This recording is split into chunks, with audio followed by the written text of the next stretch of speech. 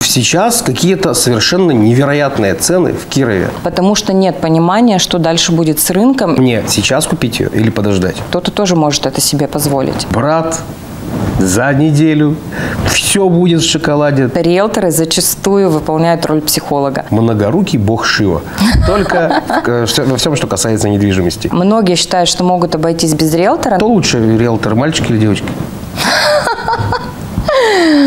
Ну, привет, милые зрители! В эфире первого городского проект «В моменте» в студии Роман Корнеев, ведущий. И у меня сегодня гость, который является великолепнейшим экспертом профессионалом во всем, что касается недвижимости. Людмила Скрипченко, риэлтор на все города, эксперт в сфере недвижимости в профессии с июня 2014 года. Сейчас какие-то совершенно невероятные цены в Кирове, в Кировской области на недвижимость.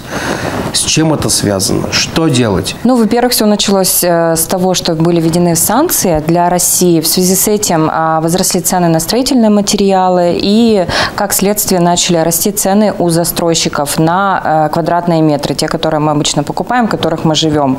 И, как следствие, вторичка, она тянется за новостройкой. И когда вот это все началось, э, рост цен на новостройки, на вторичный вариант, вторичный рынок начал подтягиваться, мы заметили такое явление, как э, сокращение количества предложений на рынке, конкретно по вторичному жилью. Предположение такое, что люди, скорее всего, немного все-таки переживают э, за то, смогут ли они оплачивать будущие ипотеки, стоит ли вообще сейчас делать какие-то вот такие решительные шаги, э, в покупку недвижимости вкладываться.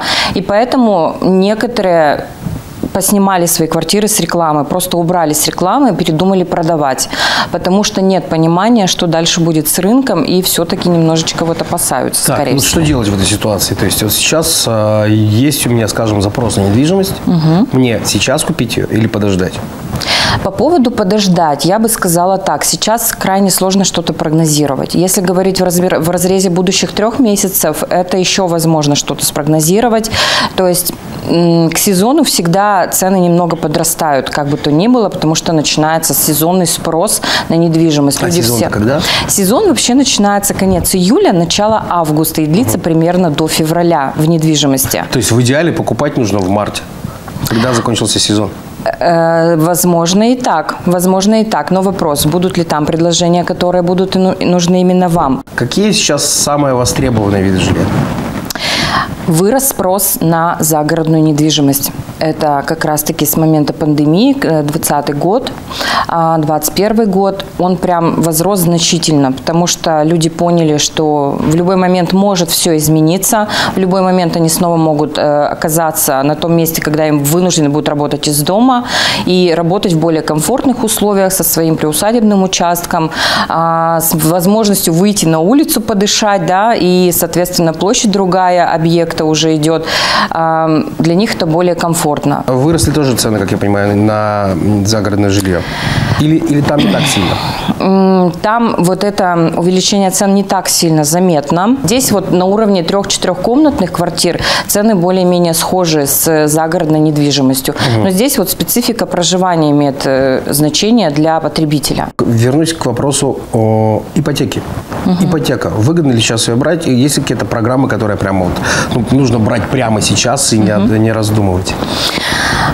вспоминая период, так скажем, недвижимости всегда есть период цикличности, это 7-8 лет, и как раз-таки вспоминая вот тот период 7-8-летней давности, ставки на тот момент очень сильно подскочили, они были гораздо выше, чем сейчас, э, ставки те, которые предлагают банки.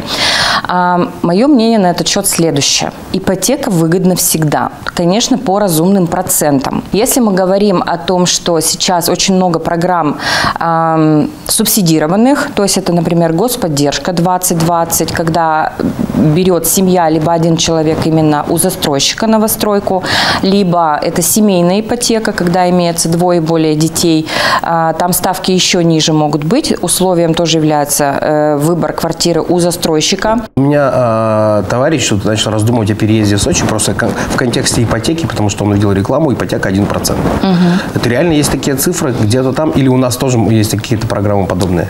Программы подобные есть. Были ставки под 0,1%. Здесь идет э, договоренность между застройщиком и банком. То есть у нас в Кирове есть такие? Да, они есть, и они устанавливаются сначала на внутреннем их уровне, потом уже транслируются, соответственно, потребителю. А, то есть существуют некоторые договоренности, когда обе стороны понимают, что им это будет сделать выгодно, что рынок простаивать не будет, да, ипотека будет работать и стройка будет идти. Э, разумеется, цены на такие квартиры будут чуть дороже, чем если бы это была не субсидированная ставка, но кто-то тоже может это себе позволить. А страховка при ипотеке, обязательно ли она? Это вообще моя любимая тема, я люблю очень долго на нее разговаривать. Вообще страхование объекта при э, моменте оформления ипотеки на квартиру, оно обязательно по федеральному закону об ипотеке. А, страхование жизни – это всегда такой острый момент, когда клиенты наши сомневаются, стоит им брать или не стоит им брать, потому что платеж не маленький. Здесь большое значение имеет возраст и сумма ипотеки. Чем старше человек, а, тем и чем выше сумма ипотеки, тем, соответственно, страхование будет дороже. Я рекомендую это делать. Почему? Потому что, во-первых, у нас жизнь сейчас непредсказуемая, неизвестно, что может случиться, и это в любом случае защита ваших семейных, вашего семейного бюджета, э, будущих наследников, не дай бог, да, об этом думать не хочется. Ну или в любом случае потеря работы или какой-то несчастный случай, у вас есть защита в плане страховки. Страховая компания оплачивает банку э, либо несколько месяцев, либо всю сумму вашего кредита. Можно ли застраховать, э, то есть взяли в ипотеку в ВТБ, к примеру, там год страховки был в ВТБ, можно ли застраховаться не в том банке, где была взята ипотека? На самом первоначальном даже этапе человек имеет право выбрать страховую компанию, которой он может застраховать свое, свою жизнь а, в рамках ипотеки. А, во-первых, требования компании, то, что она должна быть аккредитована, и банки не имеют права навязывать, и они не навязывают э, то, чтобы э, страховались конкретно у них. Они могут предложить, могут рекомендовать, могут, соответственно, называть какие-то отличительные особенности. Но если все-таки, так скажем, есть мягкая настойчивость, что нужно застраховать конкретно в этом банке, то здесь в любом случае существуют отношения бизнеса, отношения рыночные, когда есть партнерские отношения между банком и страховой компанией. Материнский капитал, да, который угу. сейчас такая популярная вещь. А как им правильно распорядиться? Что с ним делать? Ты сейчас поним... Я понимаю, есть масса вариантов, угу. но вот с жильем как правильно? То есть в... покупать квартиру или брать ипотеку, используя его, или как? Здесь, наверное, особой разницы не будет, смотря какая цель. А, если говорить, например, про районы нашей области, да, где а, также дети рождаются, также мамы получают материнский семейный капитал на улучшение жилищных условий, как правило, сумма материнского капитала, она примерно равна стоимости недвижимости в наших районах, там дома, какие-то квартиры и так далее. То есть там могут а, обратиться владельцы МСК сразу же э, к продавцу э, и перечислить, соответственно, деньги ему. Там имеет значение возраст ребенка. Если ребенку больше трех лет, то деньги можно напрямую продавцу, а если меньше трех лет, то через аккредитованные кредитные организации. А брачный договор, да? Угу. Брачный договор при покупке недвижимости есть такой, есть такой договор? Брачный договор э, – это вообще понятие, которое можно применять не только при самом оформлении недвижимости, причем любого имущества, а это понятие, э, которое определяет режим владения а, с супругами их имуществом, которое было нажито либо до брака, либо во время брака. Здесь э, очень часто сталкиваемся с ситуациями, когда э, клиенты оплачивают ипотеку, они живут вместе, они, они супруги, и по какой-то причине решили разводиться. Здесь тогда э, мало того, что нужно будет второго супруга выводить из ипотеки, из этого кредита, имеет смысл также, как вариант, составить брачный договор, чтобы распределить доли. Часто бывает так, что супруг отказывается в пользу детей, либо наоборот не отказывается. Там очень много тонкостей, которые вот без э, консультации лучше самим не предпринимать.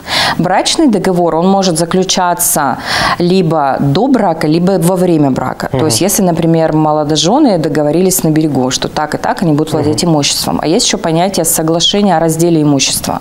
Оно как раз-таки делается либо во время брака, либо после его расторжения уже. То есть, соответственно, либо мировое соглашение, либо через суд. Покупка недвижимости в другом регионе. Угу. Как это, ну, с чего начать вообще? Как, как, как куда, куда бить, если я решил переехать? Начать надо с того, чтобы определиться с регионом. Почему вы туда хотите, какие там перспективы, а, либо просто вы готовы работать удаленно, но хотите жить в другом регионе. Здесь, как э, в выборе, например, квартиры в нашем же городе, надо учитывать следующие показатели. Это социальная инфраструктура, что важно, школы, садики, магазины, отдаленность от работы, либо интересно Э, рассмотреть более современные жилые комплексы, даже если они будут подальше от города, э, ремонт, ценовая политика, бюджет, который вы готовы на это вложить, и, соответственно, от этого и отталкиваться. Например, можно к вам обратиться, вы можете проконсультировать и помочь с приобретением. Да, конечно. Скажем, в... да. У меня Хорошо. такой народный слоган э, «Риэлтор на все города». А как выбрать правильного риэлтора? Вот где-то мне ошибиться, потому что на рынке услуг, ну, как, как и любая ниша, да, то есть есть конкуренция. Угу. Как понять, что это что, что ему можно доверять? Нам в этом плане, жителям Кирова и Кировской области, я считаю, что вообще повезло. Почему? Потому что у нас город небольшой, у нас очень хорошо развито сарафанное радио, принцип рекомендаций, и э, хорошие риэлторы, как правило, они на слуху у их же клиентов. То есть, если возникает вопрос, буквально вот недавно у меня была ситуация, э, к моей подруге пришла клиентка, начала жаловаться на своего риэлтора, я, на что она сказала, давай тебе свою свою девочку дам. Ну, так скажем, своего риэлтора я тебе дам. Буквально за неделю мы сделку оформили. То есть здесь принцип рекомендаций в нашем городе работает на Хорошо, нет рекомендаций, но не сталкивался человек с этим. Или человек угу. в нашем городе не так давно живет, угу. там, год, два, три приехал, но нет у него риэлторов. Куда бечь? Ну, если год, два, три, это вряд ли, конечно, тут можно поискать. А вот если говорить про то, куда обращаться и кого выбирать. Здесь, скорее всего, нужно социальные сети нам в помощь потому что, как правило, риэлтор, который работает на этом рынке давно, социальные сети ведет, можно просмотреть его работу, посмотреть отзывы, что немаловажно, а, либо обращаться в агентство. Но у нас принцип больше такой, что все-таки идут на человека. Ты встречаешься с человеком, риэлтор тебе говорит, брат, за неделю.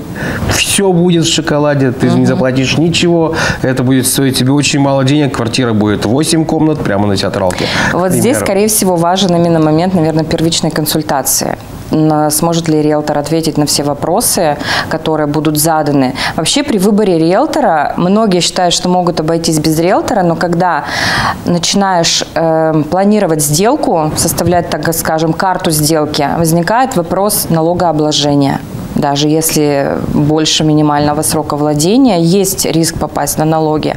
Возникает вопрос выделения долей, погашения ипотеки. А риэлторы знают, как это все делать правильно, как это все делать быстро и как это сделать с минимальными потерями для клиента в первую очередь времени, в вторую очередь денег. Кто лучше риэлтор, мальчик или девочка? Сложно говорить. Тут надо отталкиваться, знаете, от чего? Не кто лучше мальчик или девочка, а кто подходит больше, наверное, по темпераменту, какому-то внутр... каким-то внутренним ценностям. То есть, э, например, если женщина, например, в стадии развода ищет объект, лучше идти 100% к женщине, 100% к женщине идти. Если, например, это мужчина, который экономит время и так далее, еще какие-то там есть для него важные критерии, сэкономить деньги, сэкономить время, но, может быть, ему проще будет с мужчиной общаться. Ну, то есть выбор риэлтора – это примерно как выбор своего стоматолога или своего да. юриста, да? То есть ты вот, главное, чтобы он тебе был прям своего психолога. Гла- да, вот тут важный момент своего психолога, потому что риэлторы зачастую выполняют роль психолога. И, и тут важно найти именно своего человека. Бывает так, что да, бывают сложные сделки, бывают клиенты со своим темпераментом, со своим архетипом, как сейчас модно говорить. Но здесь важно найти друг другу подход. Насколько многогранна эта профессия? Ну, то есть не просто найти квартиру и написать три бумажки, да? Это, пожалуй, наверное, самая многогранная профессия из всех, из всего реестра профессий. Сейчас на текущем рынке ты еще должен быть и маркетологом, и СММщиком, и тексты правильно писать, а, разбираться в юридической документации, соответственно, знать, где взять разрешение, письма отправить, если это продажа комнаты, как проверить земельный участок, размежован, не размежован, на каком этапе. То есть кадастр еще туда. Там да? кадастр, там э, судебные приставы, там заведенные дела, там банкротство, там все что угодно. Там э, Росфинмониторинг, противодействие отмыванию денежных средств, 115 федеральный закон. Очень много нюансов, которые сам потребитель, клиент, обыватель, продавец недвижимости или покупатель недвижимости даже не задумается о том, что это надо проверить. То есть, по сути, вы такой многорукий бог Шива. Только во всем, что касается недвижимости да. и психологии. Да. Друзья, важно. Если вам потребуется хоть какая-нибудь консультация в недвижимости, вы знаете, куда идти. Сегодня в гостях у меня была Людмила Скрипниченко. Людмила, очень приятно. Очень приятно.